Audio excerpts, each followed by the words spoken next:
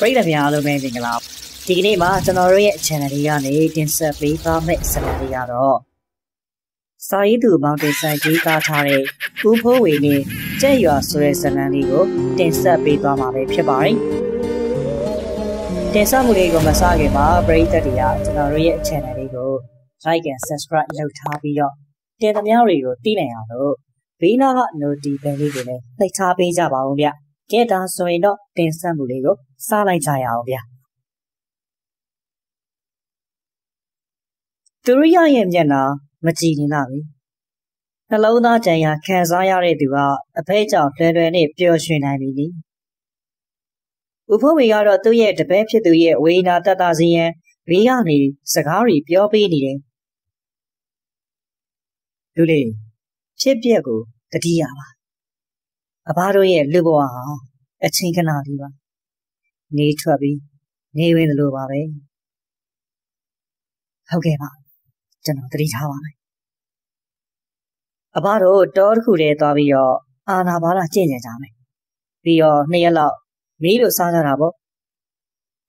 ဟုတ်ကဲ့ပါပါလူလေးကြက်ရွာဆိုတာတိလားကြက်တစီတွေအစွမ်းလန်းကြောင့်စုဝေးနေတဲ့နေရာကိုပြောတာလားပါ အေးဟုတ်တယ်လူလေးအဘတော့ဒီနေ့ကြက်ရွာကိုရောက်ရင်ရောက်မယ်အဘလိုအပ်လို့သွားတာကျွန်တော်သိပါတယ်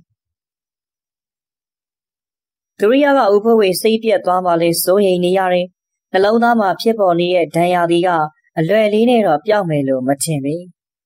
ရိလိုနဲ့ဥပဝေနဲ့သူရိယလမ်းလျှောက်လာရာထင်းတွေခုတ်နေတဲ့လူနှစ်ယောက်နဲ့စုံနေတယ်။ထင်းတွေခုတ်ပြီးခဏနားနေတဲ့သူနှစ်ယောက်ကဦးဖိုးဝေတို့ကိုမြင်တဲ့အခါ ဦးကြီးတို့ဘယ်သားကြောင့်လို့လဲဗျာ။ကျက်ရွာသွားမလို့ပါ။ဦးကြီးကတော့ဗျာရုပ်တီနဲ့နောက်တယ်ဗျာ။ကျုပ်ကနောက်တာမဟုတ်ဘူးတကယ်ပြောတာ။ကျက်ရွာသွားမလို့။ဦးကြီးကတော့ယူနေပြီတင်နေ။ကောင်းလေဘယ်သားမှလဲကွာ။ချင်းကုတ်သမားကဥဖိုးဝေပြောတာကိုဟာသတစ်ခုလိုသာသဘောထားလိုက်ပြီးဥဖိုးဝေဘေးမှာသရိယကိုမေးမြန်းနေတယ်လေ သရိယကဥဖိုးဝေကိုကြည့်လိုက်တယ်အဲဒီနောက်သရိယကချင်းကုတ်သမားကိုကြည့်ပြီးတော့ကြက်ရွာသွားမှာဗျာကောင်းလေးမင်းကတော့မှန်မှန်ကန်ကန်ပြောကွာတကယ်ကြက်ရွာသွားမှာချင်းကုတ်သမားနှစ်ယောက်ကဥဖိုးဝေနဲ့သရိယကိုသူယူရီလိုအတိတ်ပဲရတဲ့အကြည့်နဲ့ကြည့်တာနှစ်ယောက်လုံးယူနေကြတာထင်တယ်။အဲ့ဒါဆိုခမရတို့သွားမယ်ကြက်ရွာကိုကျုပ်တို့လိုက်ခဲ့မယ်ဗျာ။ ဘုဖိုးဝင်းနဲ့သူရိယကအချင်းကုတ်သမားတွေကိုမြည်သည့်စကားမှပြန်မပြောတော့ပါပဲ။တော်လန်လေးကြဝင်သွားလျော်တယ်။ချင်းကုတ်သမားနှစ်ယောက်ကဥဖိုးဝင်းနဲ့သူရိယကိုကြည့်ကအချင်းချင်းစကားပြောလိုက်တယ်။ကိုထွေဒီလူတွေကြည့်ရတာကြောင်တော်တော်နဲ့ကွာ။ဟုတ်ပါမြင်ပါရဲ့ကြက်ရွာသွားမယ်ယူနေကြလားမသိသူတို့ကြည့်ရတာတော့ခက်တီကြီးပဲနော်ငါတို့သူတို့တော့လိုက်ကြည့်ကြမလား အာဘာဖြစ်လို့လိုက်ကြည့်မှာလဲကွာရေစားရတဲ့ထဲရေရင်းကသူတို့သွားတဲ့ဘက်မှာရှိနေညာရေလေးပါလေးတောက်ရင်ပေါ့ချင်းနေကနောက်လေးမှာလာတိုက်မှာကျုပ်တို့လည်းချင်းကုန်ပြီးပြီဆိုတော့အားနေပါပြီမောင်မင်းဆိုသူရဲ့ပြောစကားကိုထွေးလို့အမိရတဲ့သူကအခက်တအစင်းစားလိုက်ပြီးတော့ဟေးကွာချင်းရလဲခုတ်လို့ပြီးပြီဆိုတော့လိုက်ကြည့်ရတာပေါ့ဘိုးတော်နဲ့ကောင်လေးပြောသွားတာတော့ခက်တီတီနော် ဒီလေးယူလီယာနေပါပါကွာလာလာလာအဲ့လိုလူတွေစီမှာစားစရာပါတတ်တယ်ဟာဘိုက်ကလည်းစားနေပြီဆိုတော့သူတို့လိုက်ထိုက်ပြောပြီးတောင်းစားကြတာပေါ့လွယ်ကြီးလွယ်ထားတာတော့ဖောင်းနေတာပဲကွာကိုထွေးနေမောင်မြင့်တောထဲမှာထင်းခုံရင်ဘိုက်စားလာရဥဖိုးဝေတို့တွင်စားစရာပါတယ်လို့တွေးချင်ပြီးဦးဖိုးဝေနဲ့သူရိယသွားတဲ့လမ်းလေးကိုလိုက်၍သွားကြပါလိမ့်ရောတယ် ကိုထွေးနဲ့မောင်မြင့်လူသွားလမ်းလေးတိုင်းလိုက်လာရာနိုင်ဝက်မြပဲရှိနေပြီဖြစ်တယ်လူသွားလမ်းဒီကမရှိတော့လဲလန်းကြီးသာတွေ့ရာကိုထွေးကမောင်မြင့်ကိုကြည့်ပြီးတော့ဟုတ်သေးပါဘူးဟာငါတို့သွားတာလူသွားလမ်းလေးပါဘလို့လို့ဒီဘက်မှာလဲလန်းကြီးရှိနေတာပါလေအေးလေငါတို့တော့ဒီတိုင်းကိုမမြင်ဘူးဒီဘက်တွေကိုသွားနေကြပါကွာလာလာလာနောက်ရင်ပြန်လဲကြရအောင် ကိုထွေးနေမောင်မြင့်နောက်ကျောင်းပြန်လှည့်မယ်ပြုစဉ်သူတို့ရှေ့မှလဲချမ်းကြီးမှနွားလေးတစ်စီးကျူတန်တစ်ချင်ချင်နဲ့သူတို့နားကိုရောက်လာတယ်။လဲပေါ်မှာဝေကောင်းစားလာတွေဝစ်စင်ထားတဲ့လဲမောင်းသူယောက်ျားကြီးတဦးပြီးတော့နောက်သူ့ရဲ့မိန်းမဖြစ်ဟန်တူတဲ့မိန်းမကြီးနဲ့မိမပြုတ်လေးတယောက်တို့ဖြစ်တယ်။လဲမောင်းတဲ့လူကြီးကမောင်မြင့်တို့ကိုမြင်တဲ့အခါတူကြီးတို့ဘာဆောင်နေရလဲကွ ဒီဘက်ကိုထွက်သွားတယ်အသက်ကြီးကြီးလူကြီးနဲ့ကောင်လေးတယောက်တော့လိုက်နေတာအဲ့ဒါဆိုအလှသွားတဲ့လင်းတော့ပါသွားပြီထင်တယ်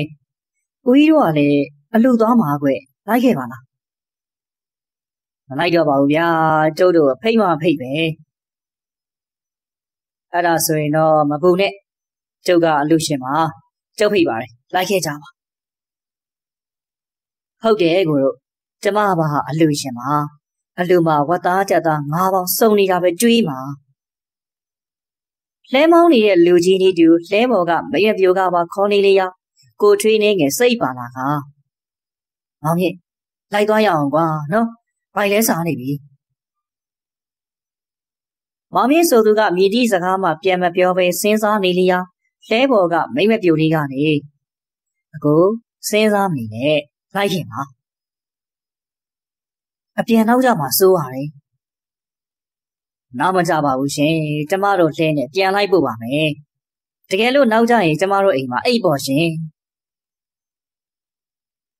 မောင်မြင့်ကသူ့ကိုစိတ်လိုလက်ရအခေါ်နေတဲ့မိမပြိုလေးကိုကြည့်လိုက်အပြစ်ပြောစရာမရှိအောင်လှပတဲ့မိမပြိုလေးကသူ့ကိုလိုက်စေခြင်းဖြင့်မျက်နှာလေးတွန်းပြီးခေါ်နေလီရာမောင်မြင့်ရဲ့အသေးနှလုံးဒီကငင်းဆန်ရအာမရှိတော့ပါပဲမိမပြိုလေးကိုကြည့်က အလူရှင်တွေကတော့အတင်းဖိနေမှာတော့ငင်းလို့ဘယ်ကောင်းတော့မလဲဗျာလိုက်ပါမယ်မရပြိုလေးကကိုထွင်းနေမောင်မြင့်လိုက်မယ်လို့ပြောတာကြောင့်ဝမ်းသားကသူမဆိုင်နေတဲ့နေရာလေးကိုရှဲပေးလိုက်ပြီးတော့အကိုတို့လာလာလာဒီနောက်ကိုထွင်းနေမောင်မြင့်ကောင်မလေးနာကိုတက်သွားပြီးထိုင်လိုက်တာနဲ့နွားလဲလေးကတရွေ့ရွေ့ထွက်ခွာသွားလိတော့တယ်ကိုထွင်းနေမောင်မြင့်မမြင်လိုက်ဒီကလဲရှိမှလဲမောင်းနေတဲ့လူကြီးနဲ့ လဲပေါ်မှာပါလာတဲ့မိန်းမကြီးတို့တယောက်ကိုတယောက်ကြည့်ကကြောက်စရာအပြုံးတစ်ခုတယောက်ကိုတယောက်ပြုံးပြနေတာကိုကိုထွင်းနေမောင်မြင့်မသိနိုင်ပါလေရောတယ်ချင်းကုတ်သမားကိုထွင်းနဲ့မောင်မြင့်ကိုတင်ဆောင်လာတဲ့လှဲတွေကနိုင်ဝက်မြမောင်ပြီးချိန်မှာရွာကြီးတရွာကိုရောက်ရှိလာတယ်။အဲဒီရွာကြီးကိုဝင်ချိန်မှာနေလုံးကြီးမှနေကျက်တဲ့ပမာမှောင်သွားတယ်။ဒီအရာကိုတတိထားမိတဲ့ကိုထွေးကနေ လှဲမောင်းနေတဲ့သူကိုစကားလမ်းဆိုလိုက်တယ်။ဦးကြီးညနေပိုင်းကြာလာပဲဗျာနော်။နင်းကတန်းဝင်သွားသလားပဲ။မဟုတ်ပါဘူးတူမောင်ရဲ့မဟုတ်သွားတာမှာ။အေးဗျာဝေးတို့ရွာနေမင်းကဘာလဲတယ်ဗျာဝေဆိုးရပါအမေကြီးရလေဗျာ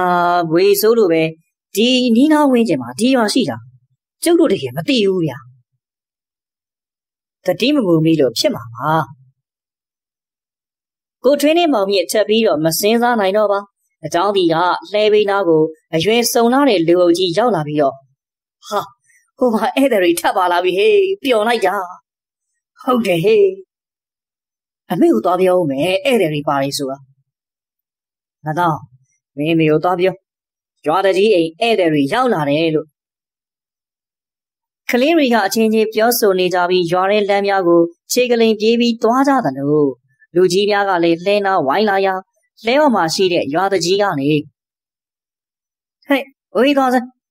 ဧည့်သည်ကိုစိတ်လျှော့ဘာတွေလုပ်နေရလဲသမီးအဲ့နာမှာချိန်ဖို့ချောင်းရှိရမလားလဲနာကတ်တဲ့သူတွေရိုက်စမ်းလဲမောင်းနေတဲ့လူကြီးပြောတာနဲ့မိမပြိုလေးကအန်ကိုကြိတ်ပြီးတင်ရပိုးတစ်ချောင်းကိုယူက လဲနာကတ်သူတွေကိုအားကုန်ရိုက်ပါလျော်တယ်လဲမောင်းနေတဲ့လူကြီးကလည်းမိမပြိုလေးနဲ့တူရိုက်နေလျောက်အရိုက်ခင်ရတဲ့ရွာသားတွေမှာအော်ဟစ်နေကြတယ်ရွာတကြီးကရိုက်တယ်ဟေးတကြီးသမီးကလည်းရိုက်တယ်ဟာလဲနာကက်လာတဲ့လူအုပ်ကြီးမှာရွာတကြီးနဲ့တကြီးသမီးရဲ့ကြိမ်လုံးဆွမ်းကြောင့်လဲဘေးကိုမကက်ရဲတော့ပါပဲအဝေးကနေသာလှမ်းကြည့်နေကြတော့တယ် တကြီးသမီးကကိုထွင်းနဲ့မောင်မြင့်ကိုပြုံးပြပြီးတော့အကိုတို့စိတ်ညစ်သွားရင်တောင်းပန်ပါတယ်ကျမတို့ရွာလူတွေကဧည့်သည်လိုက်အခုလိုပြောနေကြတာရပါတယ်ဗျာနည်းနည်းတော့လှန့်သွားတာပေါ့ရှေ့သားဆိုကျမတို့အိမ်ရောက်ပြီနော်ကိုတို့မကြလာတဲ့ချိန်မှာကိုထွေးတို့စီးလာတဲ့အလဲလေးကကျောနဲ့စောက်ထားပြီးပြင်းအောင်ပြင်ခင်းကိုမှ ရေနံကြီးတွေမဲနှံ့နေအောင်တုပ်လိမ့်ထားတဲ့အိမ်ကြီးတီဆောက်ထားရအိမ်ဝိုင်းလေးကိုရောက်လာတယ်။အဲဒီအိမ်ဝိုင်းကြီးတဲ့ဝင်လာတဲ့လူရည်နှစ်ယောက်အိမ်ထဲကနေထွက်လာပြီးတော့အဘနဲ့အမတို့လာပြီလား။ဟောဧည့်သည်တွေလည်းပါလာကိုကြွပါဗျာကြွပါ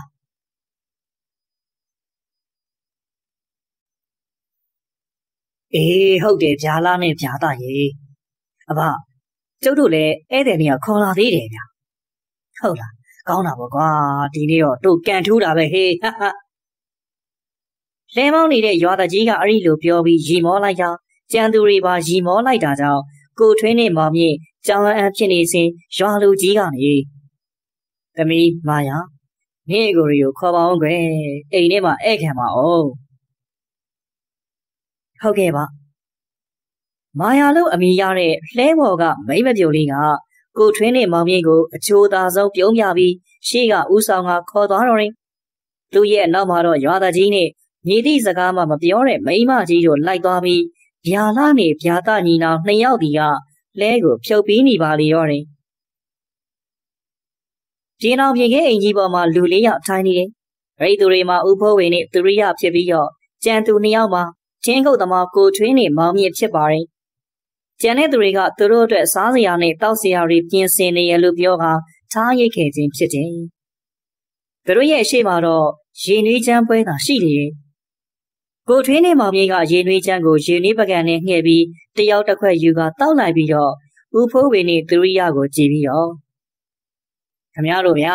အလှူလာရင်အလှူလာတယ်ပေါ့ကြက်ရွာသွားတာတွေပါပြီရှောက်ပြောနေတယ်ဟုတ်ပါဗျာဒါနဲ့ဒီလူတွေနဲ့ခမရတို့နေကအမျိုးတော်လား ကိုထွင်းရဲ့မိကိုဦးဖိုးဝေနဲ့သူရိယခေါင်းခါပြလိုက်တယ်။ရေလေးချမ်းတောက်ကြလေဗျာ။လက်ဖက်ချောက်ကတော်တော်ကောင်းတာမျိုးတောက်ကြည့်အောင်။ကိုထွင်းကဦးဖိုးဝေတို့ကိုရေနွေးချမ်းတောက်ဖို့ပြောပေမဲ့ဦးဖိုးဝေကမိတို့မှမတုံ့ပြန်ပြီးမကြလာတဲ့အချိန်မှာမာယာဆိုတဲ့မိမပြိုလေးနဲ့သူ့ရဲ့မိရင်ပြင့်ဟန်တူတဲ့စကားမပြောတဲ့မိမကြီးလင်မန်းတယောက်တစ်ချက်စီမာပြီးတဲလာကစားစရာတောက်စရာတွေကိုသူတို့ရှိချပေးလိုက်ပြီးတော့မာယာက ရီမောပြုံငါစွာ စကားဆိုလာတယ်။အကိုတို့စားတော့အာမနာနဲ့။မာယာကအဲ့လိုပြောတဲ့အခါကိုထွေးကနေအလိုရှိတယ်ဆိုမန်းနဲ့လည်းမရှိပါလား။မန်းတက်ကရွာလယ်မှာထိုးထားတာလေ။ကျမတို့ကဧည့်သည်ကိုတေးချဂယုစချင်လို့အိမ်မှာဧည့်ခံတာ။อืมအဲ့ဒါဆိုလေကျုပ်တို့စားတော်ပြီးတော့ပြန်မယ်။အိမ်ရောက်လူတွေစိတ်ပူနေလိမ့်မယ်။ ဟိုတန်းပြန်တော့မလို့လားညချလို့ရှိရင်ဇက်ပွဲရှိရလေကြည်သွားပါအောင်လားမဖြစ်ဘူးဗျတုတ်တို့စိတ်ပူနေလိမ့်မယ်အဲ့လိုနဲ့ကိုထွင်းနေမာယာစကားပြောနေချင်းရွာတကြီးနဲ့သူ့ရဲ့သားဗျာလာနေဗျာတရောက်လာကကိုထွင်းနေမောင်ကြီးကိုပြုံးရည်ပြီးကြည့်ကဘာတူကြီးတို့ရင်ကိုဦးကြီးသားတွေနေရာကိုအလူခေါ်သွားတယ်ဆိုတာပြောခိုင်းခဲ့ပါပြီဘလုံးလို့သွားပြောလိုက်တာလေဗျ ဒီဟာတူရဲ့မိမနာမည်ကအေးဒီမလားဟုတ်တယ်ဗျာဟုတ်ကတူကြီးအမေနာမည်ဒေါ်အောင်မြိုင်မလားဟုတ်တယ်ကျုပ်တို့မောင်ရင်တို့မြိုင်သားရွာကိုသွားပြောခဲ့ပါပြီစိတ်ချလက်ချနဲ့အလူပွဲလေးကြည့်သွားပါဦးကိုထွေးနဲ့မောင်မြင့်တယောက်မျက်နှာတယောက်ကြည့်နေတယ်မာယာကကိုထွေးနဲ့မောင်မြင့်ကိုညှိုးငယ်တဲ့မျက်နှာလေးနဲ့ကြည့်နေတယ်အဲ့ဒီချိန်မှာအိမ်ဘော်ကိုမိမပြိုလေးနောက်တစ်ယောက်တက်လာတယ် အဲ့ဒီမိမပြုံလေးကအလွန်တရာချောမောလှပလုံးပါတယ်။ကိုထွေးနေမောင်မြေအဲ့ဒီမိမပြုံလေးကိုငေးမောနေစဉ်မိမပြုံလေးမှမာယာနာသွားထိုင်လိုက်တယ်။အဲ့ဒီခါမာယာကမိမပြုံလေးကိုညီမလေးပြီးကြည့်ခင်ဒီဟာကိုရီကအမားတို့အလူပွဲကိုမကြည့်ချင်ဘူးတဲ့ကွယ်။ပီတိခင်လို့အမိရတဲ့မိမပြိုလေးကကိုထွေးနေမောင်မြေကိုကြည့်ကအချိုးသာဆုံးအပြုံးလေးနဲ့ပြုံးပြတာ။ အကိုတို့ရဲ့မပြန်ပါနဲ့လားဒီညပွဲမှာညီမမင်းသမီးကမှာကျမပထမဆုံးကတာကိုအကိုတို့အားပေးလို့မရဘူးလားရှင်ဟုတ်တယ်ကျမဝမ်းငယ်ညီမလေးပီတိခင်ကမင်းသမီးစာပြီးကမှာအကိုတို့အားပေးလိုက်ပါဦးလားရှင်ပီတိခင်ရဲ့အပြုံးလာလာအောင်မှာကိုထွေးနေမောင်မြင့်ငင်းဆန်နိုင်မှုစွာကုံကြေပြီးဖြစ်ပါရင်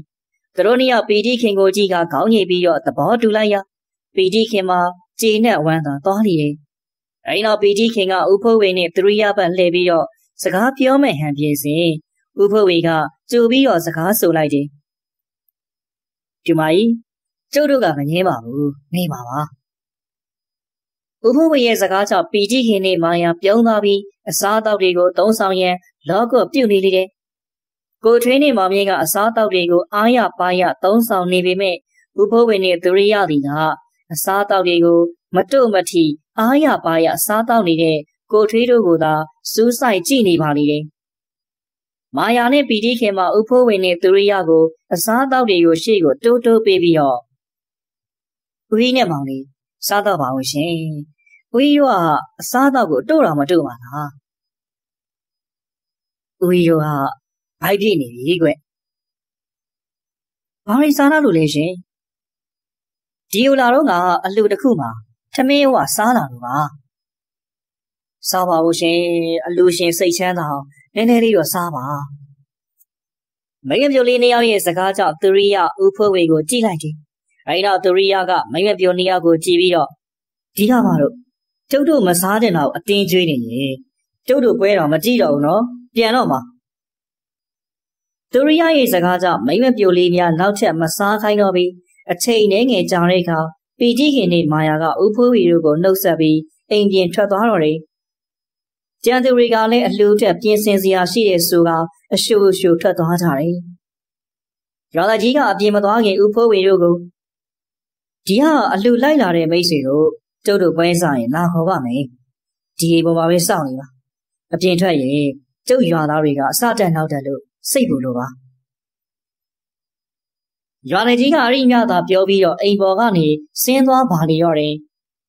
တဲခင်းပေးထားတဲ့အစားအသောက်တွေကိုမြင်ရင်ရှက်ရင်စားတော့နေတဲ့ကိုထွင်းနဲ့မောင်မြင့်ကိုသူရိယမနစ်မျိုးသလိုကြည်နေလေတယ်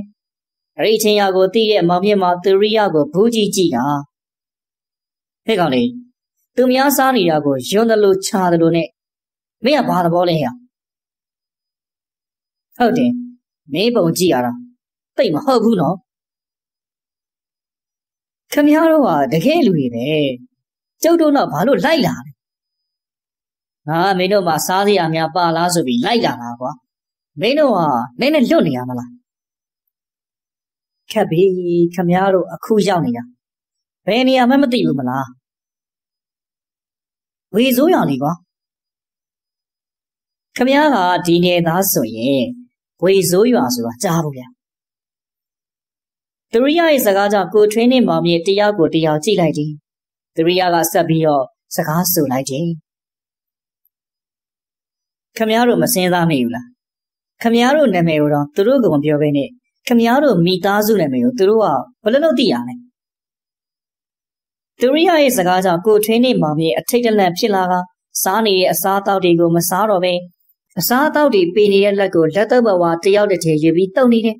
လက်တော်ရင်းနဲ့ဥဖွဲ့ဝေကိုကိုထွေးရစကားဆိုလိုက်တယ်။ဝေဒါဒါပေးနေရလေ။ကြက်ရွာလေ။ငါမင်းတို့ပြောဦးလား။မရောက်ရင်ကြဒီမှာကြည့်။ဥဖွဲ့ဝေကအင်းရှင်ကြီးချပေးထားတဲ့အစားအသောက်တွေကိုလက်ဝှေ့ရမ်းလိုက်တဲ့အခါအစားအသောက်တွေကတေးရွယ်ချောက်တွေတိတ်ခိုင်းနေနဲ့ပိုးမွားတွေတွေ့ကန့်နေတဲ့အကောင်သေးတွေဖြစ်နေတယ်လို့ကိုထွေးနဲ့မောင်မြင့်တို့လက်နဲ့ပါဆက်ကိုတုပ်နေတဲ့လက်တုပ်ဘဝမှာလဲမြေဆွေးတွေပေကြံနေတဲ့ ယွန်ရှာပွဲအဝိစုပ်တွေဖြစ်နေတော့တယ်။ကိုထွေးနဲ့မောင်မြင့်ကသူတို့ကင်ထားတဲ့အဝိစုပ်တွေကိုကြောင်ငေးကကြည့်နေပြီးတတိယရဲကလွတ်ပလိုက်ပြီးဥဖို့ဝင်နဲ့သရိယနာကိုကတ်သွားတာ။ဝီတကယ်တကယ်ကြက်ရွာလား။ငါပြောတာအခုထိမယုံသေးဘူးလား။အဲ့ဒါဆိုပြေးကြမယ်လေဗျာ။မင်းတို့ပုံကြည့်ရတာတော့အတော်ကိုမလွယ်ဘူး။ငါစကားနားထောင်ရင်တော့မင်းတို့ဒီအားလွတ်မယ် ပြေးပဲဗျာဒီမှာတော့မနေရတော့ကဲပြေးရင်လွတ်လားမလွတ်လားသိချင်ရင်ပတင်းပေါက်ကနေကြည့်လိုက်ကွာဥပဝေရဲ့စကားဆုံးတာနဲ့ကိုထွင်းနဲ့မောင်မြင့်ပတင်းပေါက်ကနေအပြင်ကိုကြည့်လိုက်တယ်အိမ်ဝိုင်းပြင်မှာသူတို့ကိုစူးစိုက်ကြည့်နေတဲ့အရွယ်ဆုံးလူတွေမှာရီပြလာတယ်သူတို့ရီပြလာတဲ့ဟန်ဘန်ကိုကိုထွင်းနဲ့မောင်မြင့်ကြောက်ရွံ့လာကဥဖိုးဝေနာကိုကပ်ပြီးတော့ကျုပ်ကျုပ်တို့ကဲပါဦးဗျာ ငါစကားနားထောင်ရင်မင်းတို့ဘာမှမဖြစ်စီအောင်ဟုတ်နားထောင်ပါမယ်ကဲမင်းတို့နေရမင်းတို့ဟန်မပြတ်ထိုင်နေမင်းတို့ဟန်ပြတ်တာနဲ့မလွယ်ဘူးနော်ဟုတ်ဟုတ်ကဲ့ပါဦးကိုထွေးနဲ့မောင်မြေကြောက်ကြောက်လန့်လန့်နဲ့ဟန်မပြတ်ထိုင်နေတယ်ရိခါဥဖို့ဝေကမူလပြန်သွားတဲ့အစားအသောက်တွေကိုလက်ဝှေ့ရမ်းပြလိုက်ရအစားအသောက်တွေကပုံမှန်ပြန်ဖြစ်သွားပြန်နေ အဲဒီလိုဥဖို့ဝေရဲ့အစွမ်းကိုမြင်တဲ့အခါကိုထွေးနဲ့မောင်မြေရဲ့ကြောက်စိတ်တို့ကအငဲငယ်တက်တာရရသွားလျော်တယ်ကျုံးမြင်တော်အိမ်ကြီးပေါ်မှာဥဖိုးဝေနဲ့သူရိယနေတူကိုထွင်းနဲ့မောင်မြင့်တီလည်းတည်ငြိမ်၍ရှိနေပြီဖြစ်ပါတယ်။အမောင်တို့ကအငဲငယ်ကြီးစိုးလာချိန်မှာအိမ်ပေါ်ကိုတက်လာတဲ့ခြေတံကြားလာရတယ်။ခြေတံတစ်ချက်ကြားရချိန်ကိုကိုထွင်းနဲ့မောင်မြင့်ရဲ့ရှင်ထဲမှာလှိုက်ကနေဖြစ်ဖြစ်သွားတယ်။အဲဒီခြေတံကအိမ်ကြီးပေါ်ကိုရောက်လာက မိရင်ကင်ထားတဲ့မာယာနဲ့ဗျာလဗျာသညီကိုနှစ်ယောက်ပေါ်လာတယ်။အခုကိုထွင်းရဲ့စိတ်ထဲမှာတော့ပြုံးချုံနေတဲ့မာယာရဲ့အပြုံးကိုကြောက်နေမိတယ်။မာယာကဥဖိုးဝေတို့ကိုချိုသားတဲ့အပြုံးလေးနဲ့ဧည့်သည်တို့ကျမတော့လိုက်ခဲ့ကြပါနော်။ဝေခင်ကအသင့်ဖြစ်ပါပြီ။ဥဖိုးဝေကမြည်သည့်စကားမှမပြောဘဲမတ်တက်ထားရလိုက်တယ်။ဥဖိုးဝေမတ်တက်ရလိုက်တာနဲ့ ကြံသူတွေပါမတ်တက်ထားရလိုက်ပြီးမာယာခေါ်ဆောင်ရာနောက်ကိုလိုက်သွားပါတော့တယ်။အိမ်ကြီးဘော်ကဆင်းပြီးအိမ်ဝိုင်းပြင်ဘက်ထွက်သွားတဲ့အခါမောင်မဲနေပြီဖြစ်တယ်။အရှိကမာယာကင်ထားတဲ့မီးရိပ်နဲ့အနောက်ဆုံးကဗျာလဗျာသညီနောင်တို့ကင်ထားတဲ့မီးရောင်ကသာအလင်းရောင်ရှိနေနေတယ်။ပြီးတော့ဆယ်မိနစ်မြလမ်းလျှောက်ချိန်မီးရိုင်နေထုံးညှိထားတဲ့နေရာတစ်ခုကိုရောက်လာတယ်။မီးရိုင်နေပတ်လဲထုံးညှိထားတာကြောင့် အဲ့ဒီနေရာရဲ့ပတ်ဝန်းကျင်ကိုကောင်းစွာမြင်နေရတယ်။အဲ့ဒီနေရာမှာကနပြင်းတစ်ခုထိုးထားတယ်။ကနပြင်းရဲ့ရှေ့မှာဇက်ခုံရှိကဇက်ခုံပေါ်မှာ6လုံးပတ်ဆိုင်ဝိုင်းရှိတယ်။ဆိုင်တီမဲ့သူတွေကဇက်ခုံမှာပီတိခင်ရှိနေပြီးမင်းသမီးဝတ်စုံနဲ့ဖြစ်ကဇက်ခုံပေါ်မှာကြောပြေးပြီးတော့ထိုင်းနေတယ်။မာယာကဇက်ခုံနဲ့မျက်စောင်းတို့နေရာမှာရှိတဲ့ထိုင်ကုန်းလေးစီကိုဥဖို့ဝေတို့ကိုခေါ်သွားကြတယ်။ အဲ့ဒီထိုင်ကုန်းပေါ်မှာရွာတကြီးနဲ့စကားမပြောတဲ့မိမကြီးကိုထိုင်းနေတယ်။ဥဖို့ဝေတို့အနားရောက်တာနဲ့ရွာလူကြီးကမတ်တက်ရက်လိုက်ပြီးလွတ်နေတဲ့ခုံလေးကိုညွန်ပြတာ။ဧည့်သည်တွေထိုင်ကြပါဗျာ။ဦးဖိုးဝေတို့မြည်သည့်စကားများမပြောဘဲထိုင်လိုက်ကြတယ်။ဦးဖိုးဝေတို့ထိုင်လိုက်တာနဲ့ပွဲလာကြည့်ရတူတဲ့အရွယ်ဆုံးလာတဲ့လူတွေကဦးဖိုးဝေတို့ကိုကြည့်နေလေတယ်။ဦးဖိုးဝေနဲ့သူရိယတီကဇက်ခုံပေါ်သာကြည့်နေပေမဲ့ ကိုထွေးနဲ့မောင်မြင့်ကသူတို့ကိုကြည့်နေတဲ့ရွာသားတွေကိုမရဲတရဲပြန်ကြည့်နေတယ်။သူတို့နဲ့မျက်လုံးချင်းစုံတဲ့ရွာသားတွေကသူတို့ကိုပြုံးပြလိုက်ရဝေးဖြူနေတော့သွားစေလေးတွေပေါ်လာရကိုထွေးတို့ပြန်မကြည့်ဝမဲဇက်ခုံကိုသာကြည့်လိုက်တယ်ဒါပေမဲ့စိုင်းကြီးမဲ့သူတွေကကိုထွေးနဲ့မောင်မြင့်ကိုစိုက်ကြည့်နေတယ်ရမျက်လုံးကိုဘယ်ချားရမယ်မှမသိဖြစ်နေတာနောက်ဆုံးဇက်ခုံပေါ်ကနေကြောပေးထိုင်နေတဲ့မင်းသမီးပေကြီးခင်ကို ကြည့်နေပါလေရောတယ်စိုင်းတန်ကဟန်ချက်ညီစွာပေါ်လာသလိုမင်းသမီးပေကြီးခင်ကလည်းလှပကြော်ရှင်းစွာကားမြဖြော်ပြနေတယ်ကိုထွေးနဲ့မောင်မြင့်ကြက်ရွာရောက်နေဒီကိုပဲမေးပြောက်ကမိန်မောပြီးတော့မင်းသမီးကိုငိမ့်နေစဉ်အစီအစဉ်မကြတဲ့လကွမ်းတီးတန်ကြီးကစူညံစွာပေါ်လာသလိုဘုံတန်ကလည်းတန်စင်နဲ့မလိုက်မဖက်စွာပေါ်လာတယ်။ရွာသားတွေကလည်းဇက်ခုံပေါ်မကြည့်တော့ပဲဥဖွေပေတို့ကသာကြည့်နေလေတယ်။ မင်းသမီးပီကြီးခင်ရဲ့ကာကျိုးတွေကလည်းပျောက်ကုန်ပြီးမညီမညာကနေရင်းနဲ့ဥဖိုးဝေတို့ကသာမျက်တာမခက်စူးစိုက်ကြည့်နေကြတယ်။သူတို့နေတူဥဖိုးဝေတို့ဘေးမှာရှိနေတဲ့တကြီးမိသားစုပါသူတို့ကိုမျက်တာမခက်ငေးကြည့်နေလေပြန်တယ်။ဦးဖိုးဝေကတောက်တဲ့ချက်ကိုခောက်ကငါကိုမြဒင်းတော့မလေးမခန့်နဲ့မူလပြန်စီဦးဖိုးဝေရဲ့စကားဆုံးတာနဲ့ဇက်ခုံပေါ်မှာဆိုင်းတီးနေတဲ့ဆိုင်းစရာတွေနဲ့ မင်းသမီးပီတီခင်တို့ကတွန်းလေကောက်ဝေးကုန်ကြကကြောက်မက်ဖွယ်တံတန်းတွေဖြစ်ကုန်ကြတယ်။ညနာမှာလည်းသွင်းရမရှိစုပ်ပြက်နေတဲ့အဝိစားတွေကိုဝိကဦးဖိုးဝေတို့ကိုစူးစိုက်ကြည့်နေကြတယ်။ရွာတကြီးနဲ့ရွာတကြီးမိမတွေလည်းပင်ကိုရုပ်တွေတဖြည်းဖြည်းပြောက်ကကြောက်မက်ဖွယ်အစင်းတံတွေပေါ်လာကြတယ်။သူတို့ရဲ့ဘေးမှာမာယာနဲ့ဗျာလညီနောင်တို့လည်းကြောက်မက်ဖွယ်အစင်းတံပြောင်းကုန်ကြပြီးသူတို့နားကိုတဖြည်းဖြည်းကပ်လာကြတယ်။ ဦးဖိုးဝင်နဲ့သူရိယတီကမတုံမလို့အေးဆေးတည်ငြိမ်စွာရှိနေပေမဲ့ကိုထွင်းနေမောင်မြင့်သွေးပြတ်မတက်ကြောင်းလန့်တုံလှုပ်နေပြီးဦးဖိုးဝင်နာကိုကတ်လိုက်ကဦးကြီးဘာကြီးတွေလဲကြက်ရွာကိုရောက်နေမှာတော့ကြက်တွေပေါ့ကွာဦးဖိုးဝေကသူရိယကိုတစ်ချက်ကြည့်လိုက်ကစကားဆိုလာတယ်လူလေးဒီကကြက်တစီတွေကိုကြည့်ပါဟောဟိုကမင်းသမီးလေးဆိုရင် လူဘဝတုန်းကပုံမှန်တံတန်ကလှပနေတာလူလေးအမြင်တော့ဟုတ်ပါတယ်ဗျကဲအခုဘလို့ဖြစ်နေလဲကြည့်ပါတကယ်ကိုမနှင်းမျိုးပဲပါပဲဘာရဲ့အလှပဆိုတာတည်မြဲလားလူလေးမတည်မြဲပါဘူးဗျဥဖိုးဝေကသူ့ရဲ့ဘေးမှာရှိတဲ့ကြက်တစီရွာလူကြီးကိုတေချာကြည့်တာကဲရွာလူကြီးကျုပ်တို့မလုပ်ချင်လဲ ဥဖိုးဝေကရီလို့မေးလိုက်ရာရွာလူကြီးကကွဲရနေတဲ့လေတံလေးငါတို့ဒီဘဝကလွတ်ချင်တယ်ငါတို့စားနေတောက်ချင်စေရှိနေလားဥဖိုးဝေကရီလို့ပြောတဲ့ကတချို့သောရွာသူရွာသားတွေနဲ့ကလေးတငယ်တွေကခေါင်းငိမ့်ကြသလိုတချို့သောသူတွေကခေါင်းရမ်းကြတယ်ခေါင်းငိမ့်တဲ့အထဲမှာရွာသားကြီးမိသားစုနဲ့မင်းသမီးကနေတဲ့ပီတီခေမှာပါဝင်ပြီးသူတို့ကခေါင်းကိုသာခါရမ်းနေကြတယ် ဥဖိုးဝေကလည်းခေါင်းကိုတစ်ချက်ငိမ့်လိုက်ပြီးနှစ်ဖူးမှလက်တင်ကကဲမကောင်းသည့်စိတ်ရမ်းရှိတဲ့ကြက်တစီများဒီဝင်းကျင်မှာရှိနေကမိသည်များပူစေဥဖိုးဝေကအဲ့လိုပြောလိုက်ပြီးသူ့ရဲ့ရှေ့မှာရှိတဲ့မြေကွက်လက်ကိုပြစ်ပေါက်ခံပြူလိုက်ရာဥဖိုးဝေတို့ကိုစားတင်တယ်လို့ပြောတဲ့ကြက်တစီတွေကပူတဲ့လောင်နေလို့အောင်ရိတ်ကပြေးလွှားပြီးတော့ထွက်ကုန်ကြတယ် ကြံရှိနေတဲ့ရွာကြီးမိသားစုနဲ့ကြက်တစီတချို့သာရှိနေလေရတယ်အဲဒီတော့ကြက်တစီရွာလူကြီးမှဥဖိုးဝေကိုလက်အုပ်ချီတာကျုပ်တို့ဒီဘဝကလှုပ်အောင်ပြစ်လုပ်ပေးကြပါဗျာဟုတ်ပါတယ်မာယာတို့ကျွတ်လုံအောင်လုပ်ပေးပါကြံရှိနေတဲ့ကြက်တစေတွေကဥဖိုးဝေကိုလက်အုပ်ချီပြီးတောင်းပန်နေရောကိုထွေးနေမောင်မြင့်ကြောက်စိတ်ပင်ပျောက်ကွယ်သွားပြီဖြစ်ပါတယ်ဥဖိုးဝေကတစ်ချက်ခေါင်းကြီးက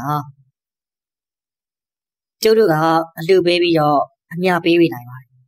ဒါပေမဲ့ခမည်းတော်ကိုကျုပ်ကဘယ်လိုလုပ်ပြီးတော့ဖိတ်ခေါ်ရမှာလဲ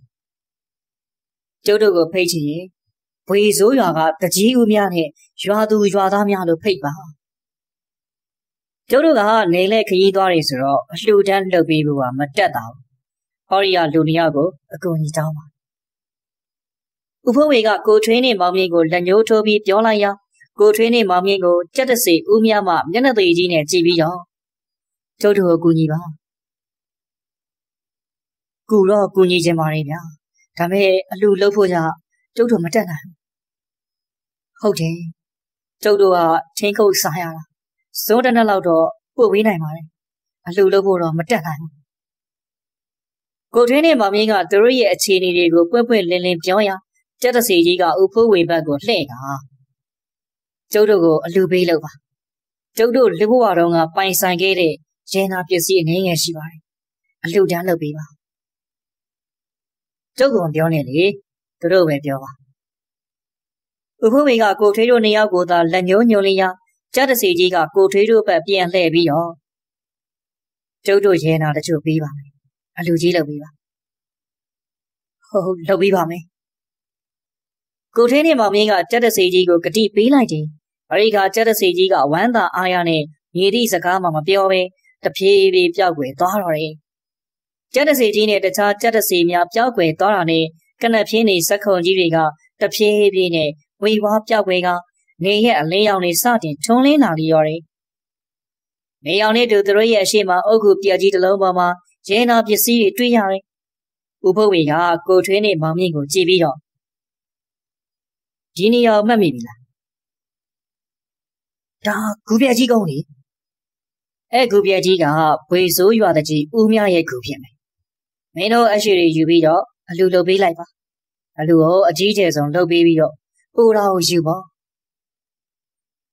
ဥပဝေရဲ့စကားကြောင့်ကိုထွေးနဲ့မောင်မြင့်အုတ်ဂူကြီးပေါ်မှာရွှေတွေကိုသွားယူလိုက်ကြတယ်အဲဒီနောက်ကိုထွေးကဥဖိုးဝေဘက်ကိုလှည့်ကဝေကျုပ်တို့ရလိုက်ခဲ့ပါဝီရောဘာမှလည်းမစားရသေးဘူးမလားဟုတ်တယ် ကျုပ်တို့ကဘာမှမစားသေးခမရတို့ကဘိုက်ပြည့်နေပြီပေါ့ဒရိယာကပြောစီစီနဲ့ပြောလိုက်ရာကိုထွင်းနဲ့မောင်မြင့်သူတို့စားခဲ့ရတဲ့အရာတွေကိုမှတ်မိကအော်အန်နေပါတော့တယ်အဲဒီတော့ဥပဝင်နေဒရိယာကကိုထွင်းနဲ့မောင်မြင့်တို့နောက်လိုက်၍သွားပါလိတော့တယ်မသေးကောင်းမပြောက်ကောင်းရှင်ရှင်တို့ပြောက်သွားတာ၁၀ရက်လောက်ရှိပြီတော့ဟာဟုတ်ပါမလားငါတို့ကမှမိုးချုပ်ကစားပါ ရှင်တို့ပြောက်သွားတာ၁၀ရက်ရှိပြီတော့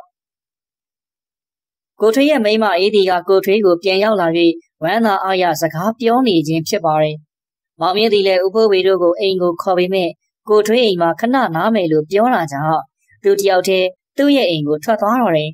။အေးဒီရဲ့စကားကြောင့်ကိုထွေးအတော်ကိုအံ့ဩနေပြီလေ။အေးဒီမှာသူတို့ပျောက်သွားတာဆယ်ရက်ရှိပြီလို့ပြောနေခြင်းမဟုတ်ပါလား။